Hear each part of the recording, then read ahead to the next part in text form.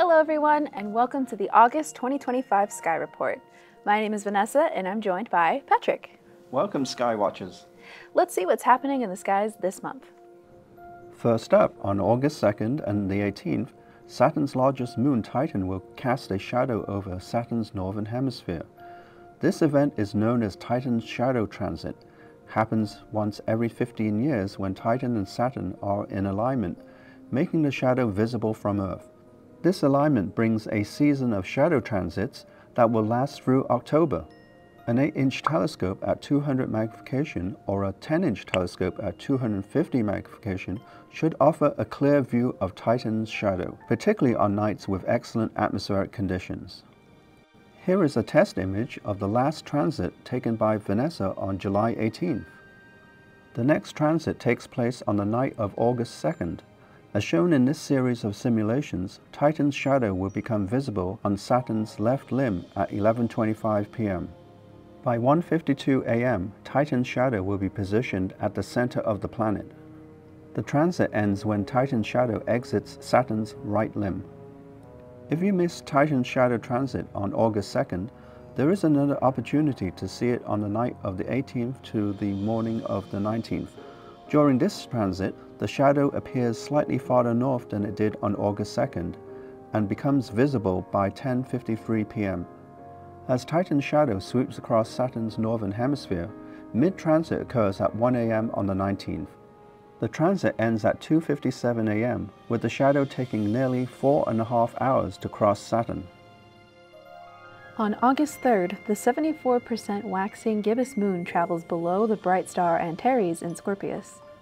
Most of the time, the moon is not able to travel below the star, but during the lunar standstill season, this arrangement becomes possible. The Perseid meteor shower peaks from the night of August 11th to the early morning of the 12th with up to 100 fast-moving meteors per hour as the Earth crosses the path of Comet Swift-Tuttle. While the best viewing time is after midnight from a dark location, a nearly full moon will unfortunately interfere with visibility during the peak. On August 12th, Jupiter and Venus will be a little less than a degree apart in our sky. This event can be viewed with just your eyes or with binoculars. Wake up before the sun to catch both of these bright planets on the eastern horizon. On August 19th, the planet Mercury reaches its greatest elongation in our early morning sky. Look to the east with just your eyes or with binoculars before sunrise to catch the dim planet low on the horizon. Be sure to not confuse it with the much brighter planets Jupiter and Venus above it.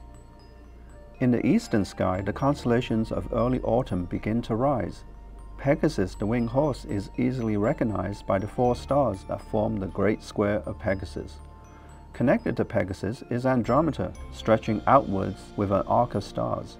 Not far from Andromeda is Cassiopeia, whose five bright stars trace the shape of a W in the sky. Towards the south, we continue to see the constellations pointed towards the inner part of our galaxy. Sagittarius sits low in the south, and Scorpius has shifted slightly west with the bright star Antares at its heart. The constellation Aquila contains one of the brightest stars in the sky, Altair. Altair is part of the Summer Triangle asterism. In the western sky, the stars of spring and early summer are gradually setting by 10 p.m. The brilliant orange star Arcturus in Boötes the Herdsman stands out like a beacon in the west. To the north, the Big Dipper slowly sinks towards the northwestern horizon. In the southwest, the reddish star Antares, the heart of Scorpius the Scorpion, begins its descent towards the horizon. Saturn is in the faint constellation Pisces the Fishes, it rises earlier each evening throughout the month. On August 1st, it rises in the eastern sky at 10.20 p.m. By the 15th, it rises at 9.24 p.m. and by month's end, it comes up as early as 8.19 p.m. Throughout the month, Venus and Jupiter switch places in the sky. As we talked about earlier, they will slip past each other in a conjunction on the 12th, and Jupiter will continue climbing higher in our sky as Venus sinks lower. Here seen on August 1st at 4.30 a.m., Jupiter is in the constellation of Gemini and Venus is above it. By the 15th, Jupiter remains in the constellation of Gemini as Venus appears to be passing through. By the 31st, Venus has moved out of the constellation of Gemini and into the constellation of Cancer the Crab. Jupiter remains in Gemini and has climbed higher in the sky. At the start of the month, Mars can be seen in the fading twilight amongst the stars of Virgo. As the days pass, it slowly shifts towards the western horizon. By mid-month, Mars is low in the western sky. At the end of the month, Mars is too low to observe, setting at 8.57 p.m. This month, we have a special segment with our video production coordinator, Ella Ritz. Tell us about your observation experience from last month. Hi everyone! So from July 24th to the 27th, I was on a rural hilltop 3,000 miles away in Springfield, Vermont. A little known fact is that this place happens to possess many unexpected linkages to Griffith Observatory. This unlikely corner of the world is home to the annual Stellafane Convention of Amateur Telescope Makers, held on the historic amateur astronomy site of Stellafane, it was my ninth year in attendance, but my family has attended for far longer. At Stellafane, amateur astronomers and telescope makers convene to attend events, workshops, and lectures, enter their homemade telescopes in competitions, and camp and stargaze with each other. This shared excitement under the sky reminds me of Griffith Observatory's star parties, except skies are dark enough to see the Milky Way, and most of these telescopes are handmade or have custom components. My family's 14.5 inch Dobsonian boasts a handmade mount by my brother Dan and a custom built encoder system by my brother James.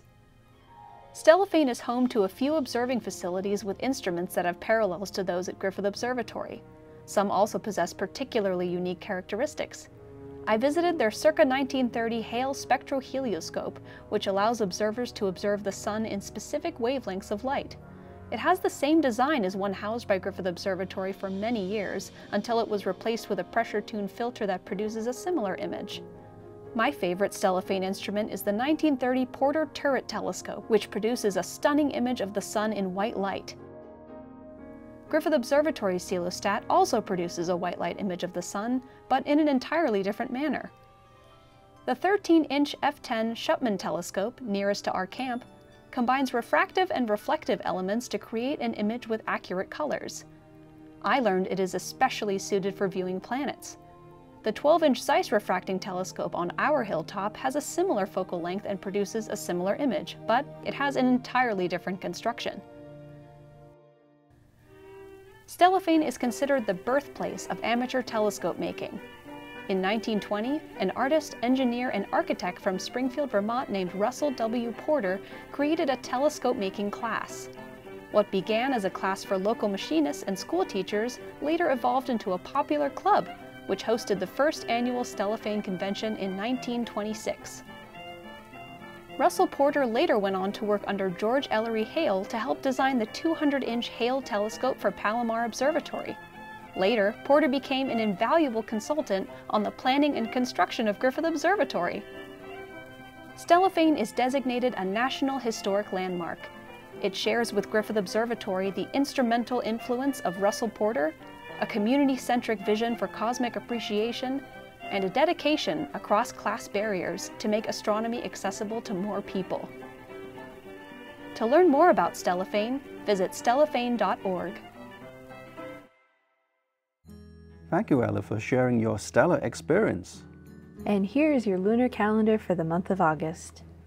First quarter is on the 1st, full moon is on the 9th, the last quarter is on the 15th, the new moon is on the 22nd, and the next first quarter is on the 30th.